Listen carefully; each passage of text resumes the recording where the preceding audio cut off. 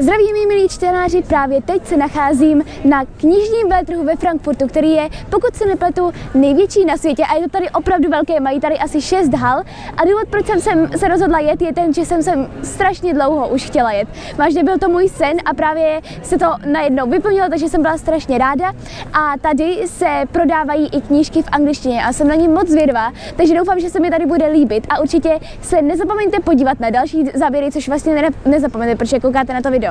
Každopádně uh, ukážu vám předtím pár záběrů ze samotného Frankfurtu a poté budou následovat záběry uh, z této obří haly, z tohoto obřího veletrhu, kam jsem měla to štěstí se podívat a jsem strašně nadšená, takže uvidíme, jaké knížky si tady koupím.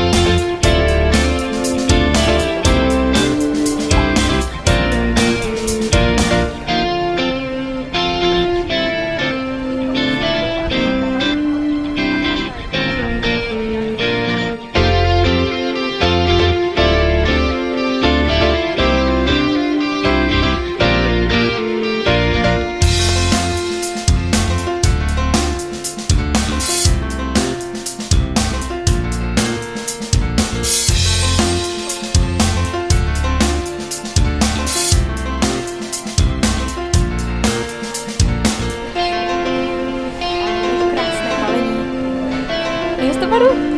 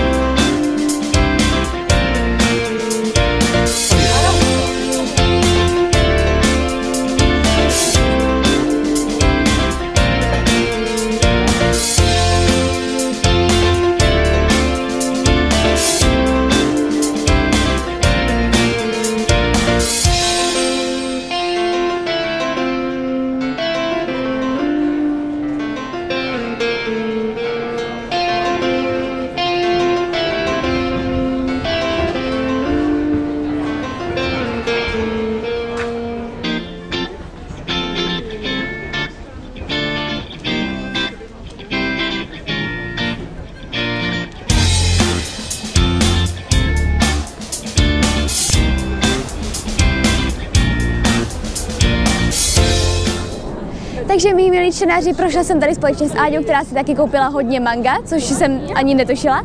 E, tak jsme to tady celé prošli, teda ne úplně celé, protože tady bylo strašně moc hal a většina knížek je přece jenom v Němčině, když jsme ve Frankfurtu.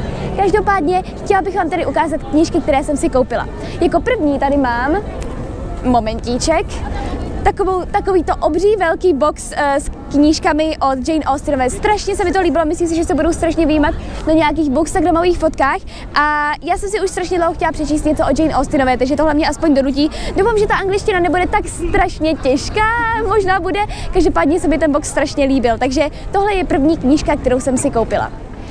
Další knížka je Unrivaled od Alison Noel a na tuto knížku jsem se už hodně dlouho koukala i v našem Neoluxoru v Praze, nicméně vždycky jsem ji tak nějak odložila, protože jsem nevěděla, jestli ji mám koupit, nemám koupit, ale nakonec jsem se rozhodla, že si ji koupím. Ona má i trošku jinou obálku než u nás v Čechách a vlastně eh, je to o nějaké, o nějaké smetánce New Yorkské, která eh, se dostala do problému. Takže uvidíme, jaká bude tato knížka, každopádně obálku má krásnou. Další knížka je 10,000 Skies Above You od Claudie Gray, kterou můžete znát uh, vlastně z prvního díla A Thousand Pieces of You a vlastně, jak víte, to první dílo mělo strašně krásnou obálku a byla jsem z ní překvapená, protože předtím uh, vlastně jsem si myslela, že to bude jenom romantická knížka a že tam nebude moc napětí, ale bylo to strašně milé, mě to překvapilo a říkala jsem si, že určitě musím zahnat i druhý díl, který má také nádhernou obálku a jsem strašně ráda. Spoustu lidí říkalo, že ten druhý díl je ještě lepší, takže uvidíme, jak se mi to bude líbit, snad to bude dobré, ale jsem strašně ráda za tento úlovek. No a pak už tady mám jenom dvě knížky, které jsem si koupila uh, v Penguin Random House, jak jste mohli vidět na, na těch záběrech, jak tam bylo strašně moc lidí, protože oni otevírali, čekali jsme u toho asi 40 minut, protože tam měli vlastně knížky za 50%, 50% sleva. Takže uh, s Áďou jsme se dohodli na strategickém plánu a já jsem šla pro knížku uh, Bridget Jones's Baby uh, od Helen Fieldingové, protože Bridget Jones prostě se mi strašně líbil ten třetí díl, byla jsem z něj úplně nadšená, takže jsem ráda, tu, tu knížku jsem si chtěla přečíst a jsem ráda, že jsem ji tam chytila. No a poslední knížka, která byla asi největším překvapením a pro kterou právě mířila Ádě, protože byla tam jediným výtiskem, tak je... To dál, to dál já. tak je Gemina od um, Emmy Kaufman a J. Kristofa. Uh, jak jistě víte, za chvíli vychází v češtině první díl Illuminé a já jsem měla to štěstí díky Ádě, že mi sehnala tuto knížku, která tam byla vážně jediná v tom celém obřím stánku. A jsem za ní strašně ráda, zase je to velká bychle, ale je nádherně udělaná, vidíte, zase krásně udělaná. A co je nejlepší, byla zdarma protože byla to, je to advanced copy, což znamená, že vlastně jako by se ještě neměla prodávat, ale byla tady. A prostě přišla jsem k pokladně a ta paní mi řekla, je to zdarma. A takže to bylo asi nejlepší úlovek tohoto celého veletrhu.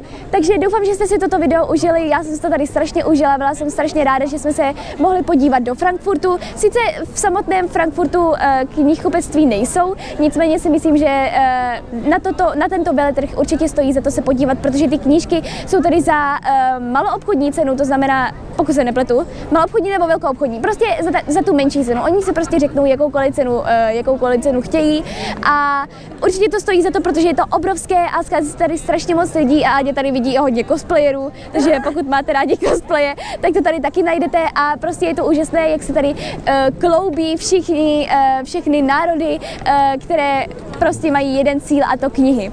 Takže ještě jednou opakuji, doufám, že se vám toto video líbilo, jsem nadšená, že jste se na něj podívali a těšte se na další video. Mějte se! A kdo je boss? Já!